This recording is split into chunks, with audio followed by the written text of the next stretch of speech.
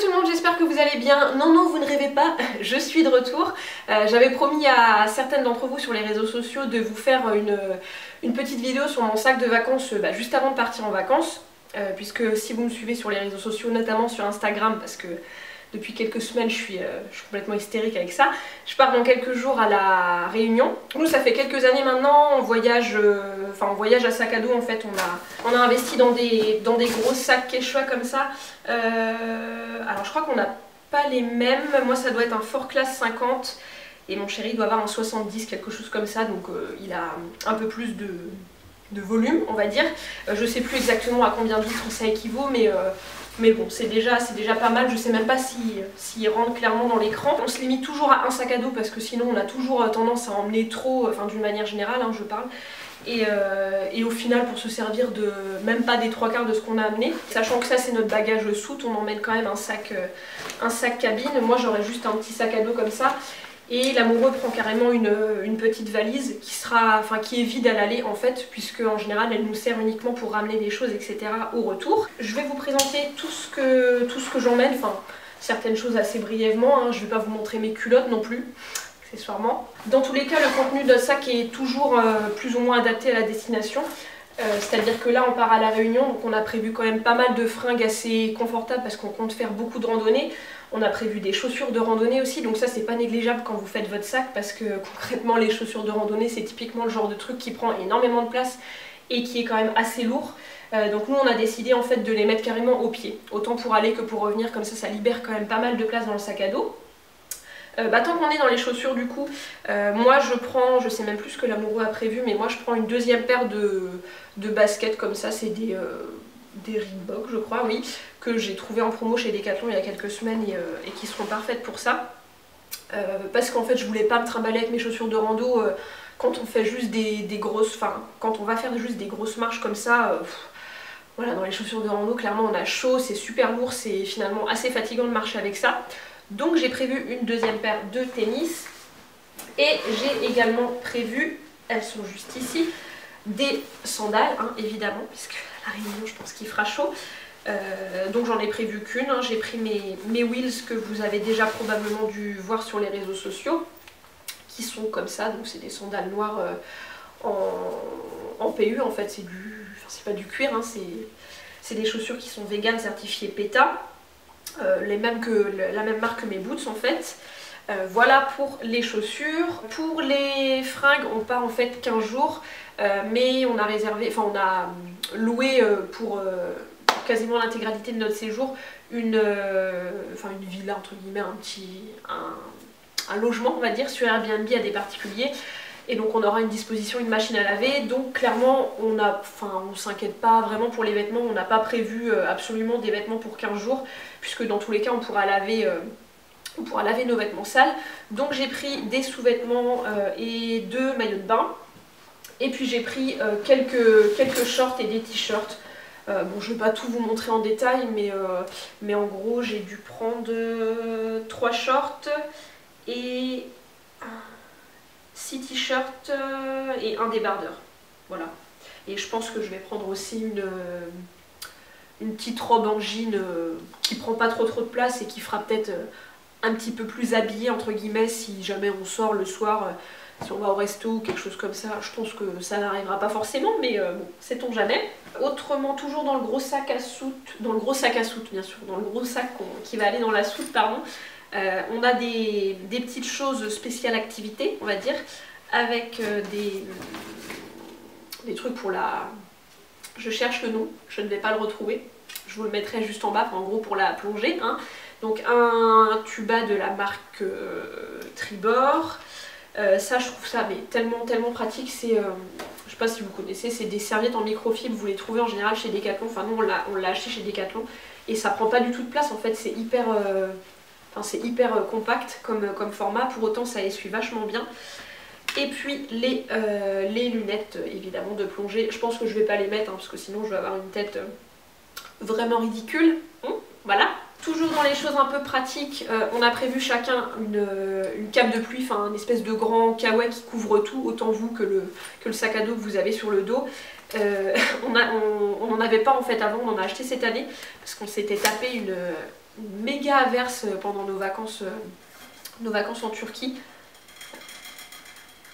Arizona se met à boire juste à côté de moi, évidemment, pendant la vidéo. Et tout de suite, je vous les avais pas montrées puisqu'elles sont dans le fond du sac. Les, chaussures de randonnée, on a pris des... C'est pareil, on en a acheté cette année parce qu'avant on n'était pas du tout équipés et, concrètement, euh, hein, moi je marchais au converse pour faire des randonnées, donc autant vous dire que sur des terrains hyper, euh, hyper glissants, avec pas mal de cailloux, de sable, etc., euh, je me suis fait quelques peurs. Voilà. Donc cette année on a décidé d'investir, on a pris des Merrell, alors moi je connaissais pas du tout hein, les tout, ce qui était chaussures, accessoires de randonnée, etc. Mais visiblement c'est une marque assez réputée, euh, ils font vraiment d'excellentes chaussures. Alors moi euh, j'ai pris le top du top avec, euh, avec semelle Gorex ou Gore-Tex pardon, excusez-moi pour les connaisseurs. On a eu un vendeur qui était vraiment calé sur son sujet, qui maîtrisait, qui maîtrisait les produits de la marque, qui s'y connaissait etc. Donc c'était quand même agréable d'avoir un, un conseil là-dessus puisque nous on s'y connaissait vraiment pas. Donc moi j'ai pris des, euh, des, montantes en fait, je pensais, enfin montantes, demi-montantes, parce que je pensais prendre des, euh, enfin pas du tout, euh, pas du tout montantes en fait, vraiment des chaussures de randonnée qui s'arrêtaient à la cheville. Et en fait quand je les ai essayées finalement j'avais pas du tout l'impression d'être tenue, enfin je me suis dit si je prends ça c'est... Ça, ça, va pas le faire quoi, parce qu'on compte quand même se faire le piton des neiges, donc autant vous dire que 3000 mètres d'altitude et 1700 mètres de dénivelé, je pense qu'il nous fallait quand même des bonnes chaussures. Et donc quand j'ai essayé les, demi-montantes, j'ai vu tout de suite la différence, je me sentais beaucoup mieux au niveau de la tenue de la cheville, etc. Donc après, bah, il reste juste du coup les, affaires de toilette euh, qui sont ici. Euh, donc j'ai mis dans un sachet en plastique parce que j'avais pas forcément d'autres trousses. Tout ce qui est euh, crème solaire et, et qu'est-ce qu'il y a d'autre là-dedans? Je vais regarder, je ne sais même plus, j'ai fait ça il y a 5 jours mais c'est pas grave. Pour les crèmes solaires, j'ai pris deux, tubes de euh, lait solaire de chez UV Bio, SPF 30, UVA plus UVB, certifié bio et vegan, que j'ai trouvé sur euh, EcoVerde. Ils sont également vendus, il me semble, chez Happy Je voudrais pas dire de bêtises, mais je crois. Et j'ai emmené également, enfin on va emmener également le spray solaire SPF 30 de chez Acorel que j'ai déjà euh, utilisé cet été. Là c'est un, nouveau et, et, qui était très très bien. Donc voilà, je pense que 3, excusez-moi, ça devrait suffire. Euh, pour le visage, j'en ai une autre, mais elle est dans l'autre trousse, donc je vous la montrerai tout de suite. Sinon, euh, on emmène une espèce de petit savon de Castille comme ça, euh, de chez Dr. Dr. Je, crois. Oui, c'est ça. Donc, que j'ai acheté sur EcoVerde en même temps que les crèmes solaires. Ce sera pour faire notre lessive. également un spray répulsif, contre les moustiques, etc. J'ai pas vraiment euh, énormément de confiance dans, ce genre de produit, mais euh, je me dis que ce sera toujours mieux que rien. Hein. Donc pareil, je l'avais commandé sur EcoVerde. Et j'ai pris également des petites, euh, des petites miniatures de lotion pour le visage qu'on a eu en cadeau quand on a été au marché de la slow cosmétique. donc j'ai pris l'eau de génie de la marque Indem et, et l'Indian Tonic de la marque Letica. Donc je pense que voilà, pour euh, rafraîchir ou nettoyer un petit peu ma peau euh, le matin, ce sera très bien. Dans l'autre trousse que voici, euh, elle n'est pas du tout pleine. Hein. J'aurais pu en trouver une plus petite, mais j'en avais pas forcément dans mes tiroirs. donc je vais essayer de faire ça dans l'ordre. Pour se nettoyer le corps, les mains, etc. et le visage, du coup j'ai pris deux, savons solides, un orange ylang de la marque Savon Doux et un aloe arborescence miel de Lilo Plante. J'ai pris euh, du gel d'aloe arborescence, toujours de l'îlot plante. Donc ça, j'ai reçu ces produits en même temps que du jus d'aloe arborescence. Je vous en avais parlé sur le blog. C'est un petit peu dans la même lignée que l'aloe vera, mais euh, visiblement, en tout cas, il y a des études qui ont été faites, etc. Avec beaucoup plus de vertus et moins de, potentiel irritant en fait pour la peau. Euh, donc j'ai pas encore du tout essayé, hein, ni le savon, ni le gel. Donc du coup, ce sera l'occasion d'essayer et puis je vous en donnerai des nouvelles. Mais dans tous les cas, si c'est exactement pareil que l'aloe vera, ça, nous servira forcément après, euh, après une exposition au soleil, etc. Si on se fait euh, piquer par des moustiques, si le spray répulsif n'est pas efficace, etc. Donc euh, je pense que c'est un petit peu un indispensable quand on part, quand on part en vacances. pour ce qui est de la protection solaire pour le visage, je pense que l'amoureux, lui, il se tracassera pas. Hein. il mettra les, les crèmes qu'il utilisera pour le corps. Mais moi du coup je prends le gel solaire SPF 30 que j'avais reçu euh, de la part du site Cbio. Euh, donc je ne sais pas. pareil, j'ai pas encore essayé. Texture invisible, effet non gras, etc. etc. Donc euh, je pense que je vous en donnerai des nouvelles quand on rentrera du coup. Pour les cheveux, j'ai pris le shampoing solide au sapin argenté, il me semble. Enfin celui pour cheveux normaux de la marque Lamazuna. C'est vraiment un, un shampoing que j'adore. Il laisse les cheveux tellement doux, tellement souples et il est pas du tout agressif pour le cuir chevelu. Vraiment, euh, si vous n'avez pas envie de faire vos tambouilles, etc. et que vous cherchez un shampoing solide... Je vous conseille mille fois celui-ci parce que c'est vraiment de loin mon préféré de tous ceux que j'ai pu essayer.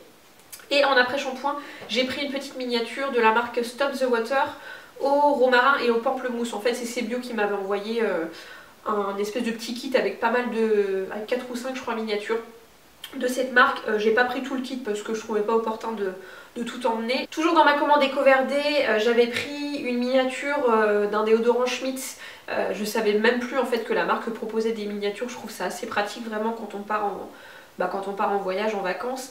Euh, donc moi j'ai pris Cedarwood et Juniper, c'est euh, c'est cèdre et génévrier, si je, si je, ne me trompe pas. J'en ai essayé deux, celui à la lavande et celui à la bergamote il me semble. Et ils étaient tous les deux méga méga efficaces.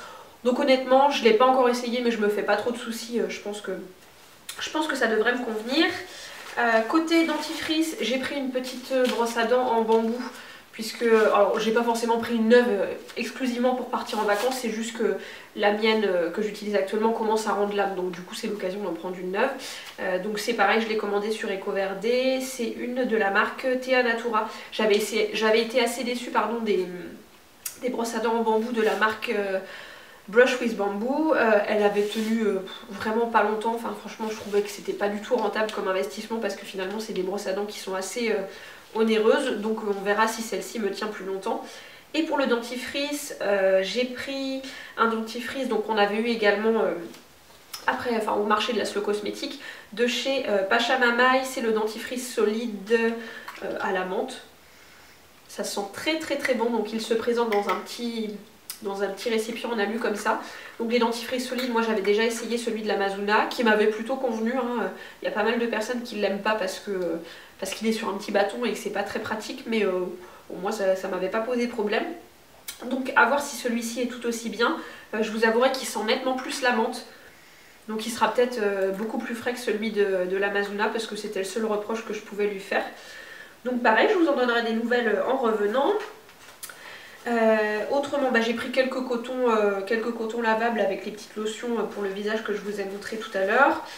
Des cotons-tiges, bon ça ça va, j'ai pas besoin de vous montrer hein, je pense. Un stick à lèvres parce que ça peut toujours servir, surtout quand on va au soleil, hein. c'est pas parce que parce qu'il fait pas moins 5 qu'on n'a pas les lèvres asséchées. Au contraire, moi j'ai plus tendance à avoir les lèvres bah, qui tirent, qui sont desséchées, etc. en été. Donc là du coup à la réunion euh, je pense qu'il m'en faudra un.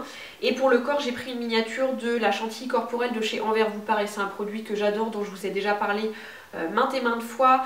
Euh, donc là j'ai pris à la menthe douce d'habitude moi j'utilise la chantilly qui est un petit peu plus parfumée à la rose et au, au géranium si je dis pas de bêtises. Donc là j'ai pris celle à la menthe douce puisque comme l'amoureux est susceptible de l'utiliser j'ai pas envie qu'ils se tartinent un truc et qu'ils me disent ah ça sent, ça sent la fleur etc. C'est pas très, pas très masculin, hein, voilà. J'ai pris ça pour nous deux, euh, le, contenant est pas très très grand mais je me dis dans tous les cas on a l'aloe vera donc, euh, donc ça devrait passer. Et euh, donc c'est tout dans la. c'est tout côté, côté beauté. Vous voyez que j'ai pas, pas vraiment grand chose. On emporte. Enfin on emporte. Genre l'amoureux va se maquiller. Je n'emporte pas du tout de maquillage parce que j'en vois pas. Enfin j'en vois absolument pas l'intérêt. Enfin, nous, quand on part en vacances, c'est vraiment... Euh, voilà, c'est randonnée, euh, plage et euh, on n'est pas du tout dans l'optique de faire des sorties, etc. Et c'est tout pour le gros sac en soute et pour le petit sac. Vous allez voir que finalement il n'y a pas grand chose dedans. C'est un sac à dos que j'ai acheté également cette année. Je connaissais pas du tout en fait, c'est la marque Low Pro, je sais pas si je le prononce correctement, qui fait ça. Et en fait c'est des sacs à dos qui sont hyper, hyper bien faits. En fait ils sont conçus pour transporter tout ce qui est matériel de photo. Donc moi je ne connaissais pas du tout et là comme, euh, comme l'amoureux m'a offert un, nouvel objectif à mon anniversaire que je voulais absolument emmener, euh, je me suis dit comment je vais faire? Parce qu'en fait j'ai une, une sacoche Canon noire mais euh, je sais pas, je trouve ça pas du tout pratique quand vous partez en voyage, vous êtes toujours, en plus c'est une sacoche en bandoulière donc il y a toujours une épaule où ça fait mal et, l'autre où ça fait pas mal. Du coup je suis tombée sur, sur les sacs à dos comme ça Je crois que c'est chez Boulanger ou à la FNAC, je sais plus. Enfin, dans tous les cas, c'est vendu dans les deux endroits, mais, mais il me semble que c'était Boulanger. Et donc le principe sur celui-ci, alors je sais pas du tout quel modèle c'est. Je pense qu'il n'y a, pas de, a pas de modèle particulier. Donc dans tous les cas, il y en a plusieurs, il y, a plusieurs modèles avec plusieurs tailles, etc. Mais, mais donc là, en gros, à l'arrière, vous avez une fermeture. Et donc là, vous avez des compartiments. Alors moi, il n'était pas... Il n'était pas organisé comme ça quand je l'ai acheté. Euh, vous avez des scratchs euh, quasiment tout autour, donc vous pouvez vraiment organiser en fonction de la taille de vos objectifs, de votre boîtier, etc. Non mais Arizona est en train de faire n'importe quoi. Si tu veux qu'on t'emmène à la Réunion, faut le dire. Mais je je suis pas sûre hein, que ça passe. Voilà. Donc là, moi, il y a une case, euh, une case vide parce que ce sera mon boîtier avec lequel je suis en train de filmer, donc il n'est pas là. Là, j'ai un objectif grand angle de la marque Tamron, c'est un 10-24. Et ici qui est caché, j'ai l'objectif que mon amoureux m'a offert, qui est un objectif macro. C'est le 70-200 euh, ou 70-300, je ne sais plus. C'est hyper rembourré, hein, vraiment. Euh, je pense que si, évidemment, si vous lancez votre sac à dos à plus de 30 mètres, euh, ça fera pas forcément du bien. Mais enfin là, je pense que si je le laisse tomber, il n'y a vraiment pas de souci. C'est ultra, ultra rembourré. Ce qui est bien aussi, c'est qu'en dessous le sac à dos, vous avez toute une bah, toute une espèce de grande capuche en fait pour euh, mettre par-dessus le sac à dos en cas de pluie. Donc ça c'est, enfin vraiment tout est pensé pour que ce soit, euh, pour que ce soit au top. Et donc devant euh, vous avez quand même une pochette bah, au-dessus du, fond où est-ce qu'il y a vos objectifs, etc. Vous avez quand même de quoi mettre, de quoi mettre par ici. Donc moi j'ai emmené, enfin on emmène une, notre, notre tablette tactile puisque je pense que si on a besoin de chercher, bah, de chercher des, des adresses, voilà. Je suis fatiguée là, il est 20h, ça y est, j'en peux plus. ou des numéros de téléphone, etc. Euh, bah, la, location qu'on a pris, il n'y a pas d'ordinateur, hein, donc euh, voilà, on a pris notre tablette. Euh, donc ça c'est mes lunettes de soleil que je vais vous montrer tout à l'heure. Les chargeurs hein, classiques pour l'appareil photo, etc. Deux petits guides de la Réunion, le routard classique et le géoguide. J'aime beaucoup les géoguides, ils sont beaucoup moins connus, mais je les trouve très agréables et plein de, plein de bonnes infos. Donc voilà, donc j'ai déjà mis pas mal de, post-it, etc. dedans. Euh, elle n'est pas là, mais il y aura également notre, notre GoPro dedans, hein, puisque je me suis... Enfin, j'ai fait un cadeau commun pour Noël, j'ai offert une, une GoPro à mon chéri et à moi-même. Et donc mes petites lunettes de soleil que j'aime d'amour, que j'ai reçues à Noël. Le Papa Noël a été généreux, a été généreux cette année. Euh, c'est des lunettes de la marque Shelter. Donc ça c'est une marque que j'avais repérée en début en début d'année il me semble euh, et, j'étais tombée complètement amoureuse de leur modèle. En fait c'est des, bah, lunettes en bois qui sont, fabriquées, euh, qui sont fabriquées en France à Annecy avec, avec du bois issu de forêts durablement gérées etc. Enfin c'est vraiment des lunettes d'une excellente qualité. déjà quand vous voyez le site il est, il est superbe, il n'y a rien à redire. Et, et, quand je les ai eues entre les mains, mais enfin autant vous dire que c'est c'est un bijou quoi. La qualité elle est juste, euh, elle est, juste dingue. Euh, sur, les, branches à l'intérieur vous avez euh, de gravés fabriqués à Annecy et de l'autre côté vous avez Liberty donc c'est le, le modèle en fait des lunettes. Je vais les mettre pour que vous voyez un petit peu. Alors là je sais pas du tout ce que ça rend, je les trouve, je les trouve trop trop belles. Alors d'habitude j'ai beaucoup de mal avec les lunettes de soleil mais, mais là je sais pas. Je trouve que ça me fait pas non plus une tête, une tête de mouche. Mais pour autant euh, les yeux sont, quand même bien protégés etc et elles sont pas trop trop lourdes pour des lunettes en bois. Elles ont pas l'air de faire mal vous savez au niveau des oreilles et tout mais voilà voilà. Merci Shelter. Alors ils sont pas les seuls hein, sur le sur le marché des, lunettes en bois mais, euh, mais dans tous les cas si, jamais elles, vous tentent euh, foncez parce que parce qu'elles sont juste hyper hyper quali elles sont livrées dans une, une petite pochette façon, façon denim, enfin jean, hyper rembourré à l'intérieur et ça c'est vraiment appréciable aussi parce que vous pouvez vraiment y glisser vos lunettes en toute sécurité et sans craindre que les verres ne cassent. Et voilà, c'est tout ce que j'avais à vous dire. J'espère que ça vous aura plu, que ça vous aura éventuellement inspiré. Euh, c'est pas le, sac de vacances le plus euh, minimaliste qu'on puisse imaginer, mais euh, je pense quand même qu'on se restreint pas mal. Si jamais vous avez envie de voyager un petit peu dans les prochains jours, bah, je vous invite à me suivre sur Instagram, j'essayerai de vous poster de vous poster quelques petites photos euh, bah, de la Réunion, de nos, de nos petites escapades là-bas. Je vous embrasse bien fort et je vous retrouve bah, au mois de janvier maintenant, donc à l'année prochaine. Salut